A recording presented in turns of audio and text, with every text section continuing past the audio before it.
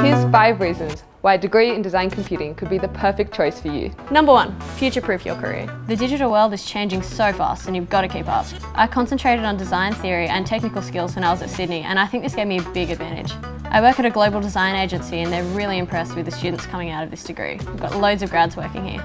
Number two, get a great job. I'm a senior developer and technical coordinator at PwC. I'm a visual designer at Wunderman Vianalto. I'm a user experience designer at IBM. I'm a senior product manager at Atlassian. I'm an intern at Google. Design computing grads are always going to be in high demand. Even before leaving uni, many are being headhunted by small startups all the way through to big multinationals. This degree is recognised all over the world, which means I can basically work anywhere.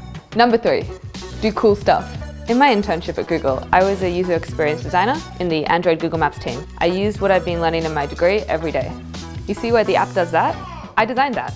Number four, it's the only course of its kind in Australia. This is the only undergraduate degree in the whole country that gives you a specialised training for a career in interaction design and creative technologies. Number five, it has the best grad party ever. The graduate exhibition gets more than 5,000 visitors through its doors, and it's a chance to get your work in front of a wider audience. You network with employers, and you really graduate with a portfolio that gets you noticed in the industry.